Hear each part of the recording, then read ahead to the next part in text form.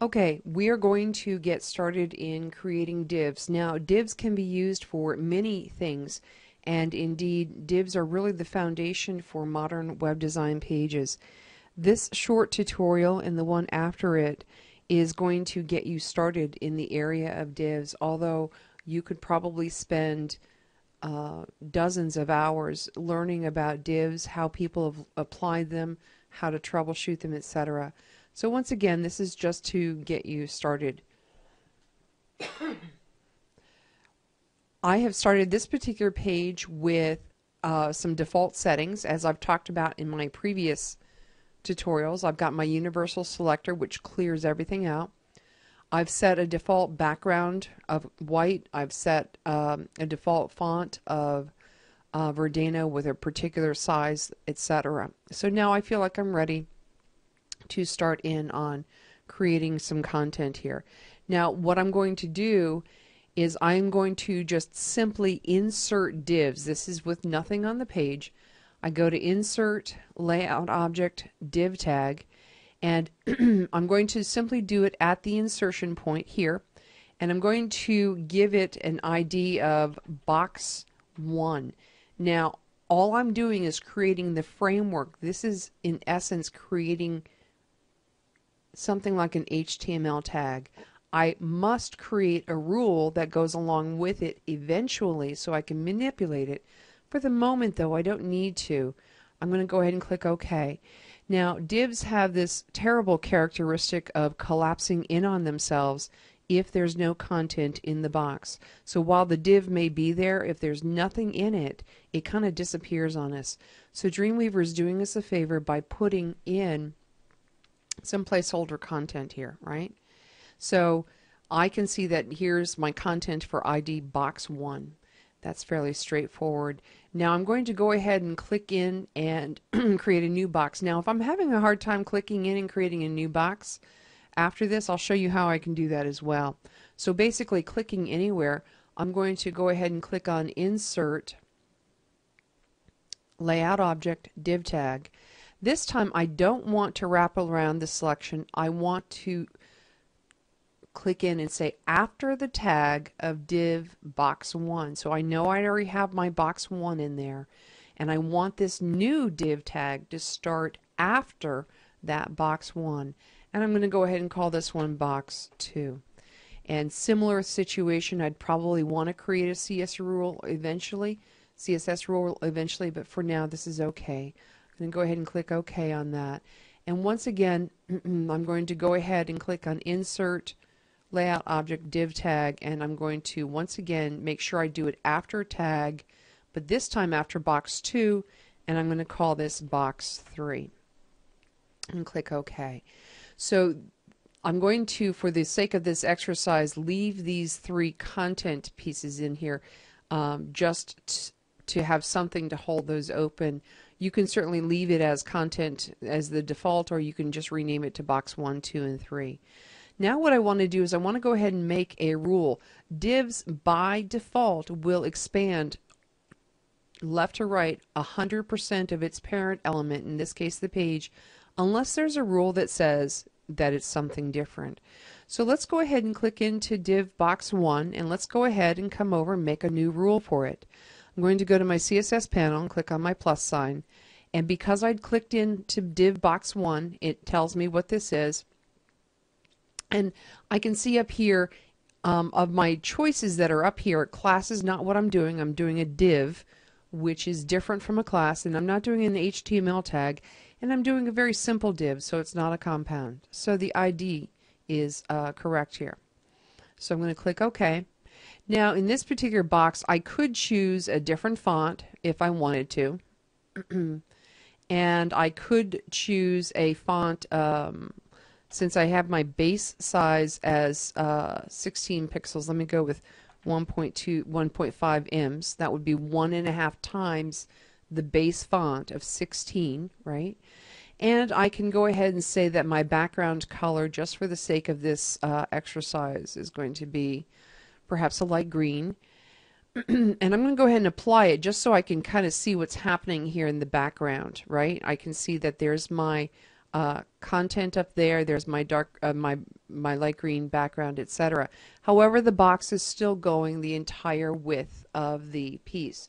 So now I'm going to come over here to my box element and I'm going to select that I want this box to be 200 pixels wide.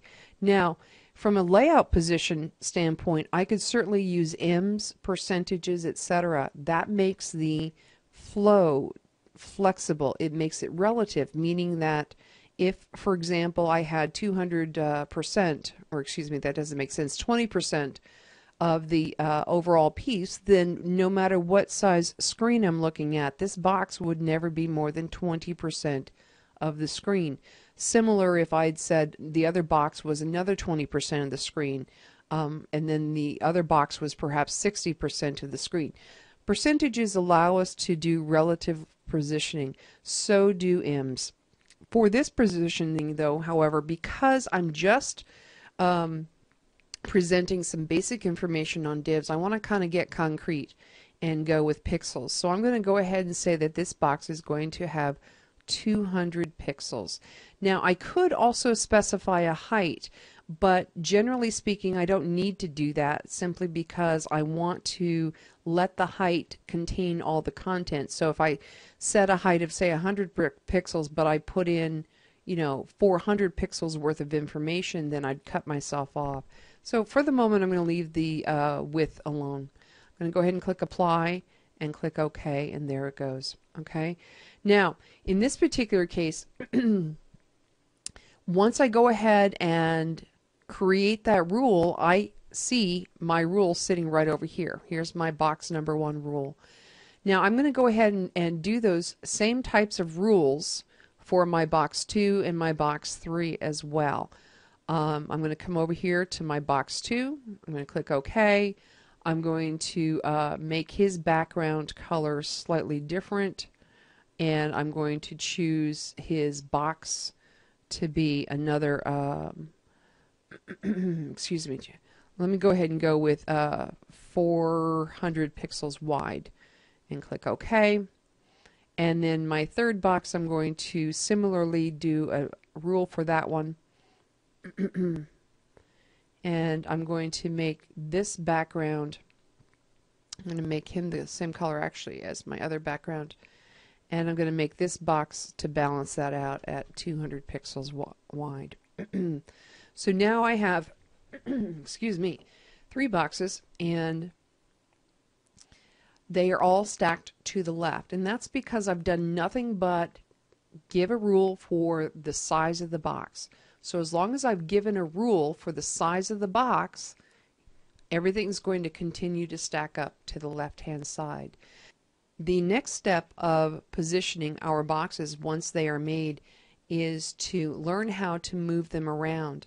Now in this particular case I don't have these boxes sitting in a wrapper or any other kind of larger container box. So it's only the page that's actually governing the positioning here. And because the page is kind of squished down to 800 pixels wide here, I know I'm going to be okay, but if in fact I were on a smaller page, then I would start to see some weird things happening on these boxes. Um, in this particular case, I want to um, position these things basically right next to each other across the page. There's multiple techniques to do this, but probably the most straightforward is to go ahead and float all of these images, or excuse me, all of these divs to the left hand side. Now you might think that these are already floated to the left here because they're all kind of stacked up to the left. Remember that what you're seeing right now is just the default behavior of the boxes. Positioning really has not happened. You're just seeing the default. So if I go ahead and click on box 1, click on my element called box 1, and make sure I'm doing box 1 over here, um, I'm going to go ahead and edit the rule. Now keep in mind, I've clicked here, I've clicked here, I've clicked here. The most important place to click is right over here, the box one on this element. But I do all three of them just to make sure that visually I'm keyed into the correct um, element that I want to work on, and indeed I am. So I'm going to click on my pencil, and now I'm going to go to my box element, and I want to tell it to float to the left. Now, once I tell it to float to the left, a couple of things are going to happen. First of all, my pink box is all of a sudden going to once again take over its natural behavior, which is to float left and up or default left and up, regardless of what's on top. So if I go ahead and click OK, what has happened is my pink box has done the same thing that it had been doing before, but now it's underwriting the box one so that it in effect is collapsed onto half of it. If I click on it, I can see the outline of really where the box is. In order for that box to show fully, I now need to apply a float left rule to box number two. So once again, I'm going to click on box two, click on my pencil, come over here to box, and I'm going to click on float left and apply. Now, same thing happened. My my uh, 400 pixel block did the right thing. It went out to the uh, uh, right hand side of this because I've basically stacked these up against each other, both of them floating left.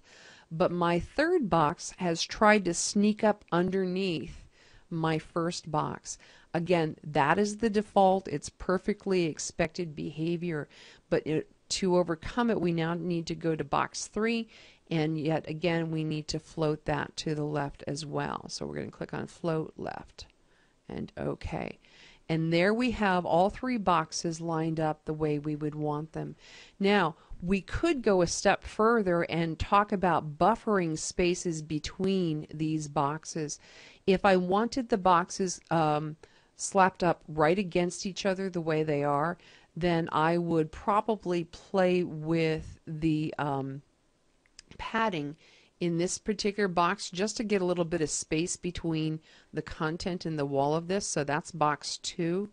I'm going to go to box two. And this time I'm going to go to my box area. I'm going to uncheck my padding. I really don't want to play with my top uh, or bottom because that would um, take things out of, out of line. But if I go ahead and click on 10, I can click OK. And now notice that that pushes that over just slightly. Same thing over here with box 3. I can do the same thing and uncheck that padding and uh, for all and do 10 pixels on the left hand side and that's going to force my box to come out however I can also then see that this one gosh I need to do it there too so box 1 uncheck the padding and go to 10 and click OK. So that's one way to buffer the padding away from each of those places. Another way that I could deal with it is, for example, here in my box 2, I could go to box 2, click on my pencil, go to my box, and this time I'm going to uncheck margins. I'm going to say my right margin is 10. Actually, I'm going to just say my right margin is 5 and my left margin is 5. Oops, 5. And I'm going to go ahead and click OK. And now what that has done for me is put this uh, little sliver of, of white space in between this box and the box to its left and its right. That's because I set those margins left and right. Okay, I want you to follow this exercise, create exactly this page, and I want you to save this as learningdiv1.html, learningdiv1.html, save it in your module portfolio folder, and then eventually I would like you to um, link to this file from your instructional design menu.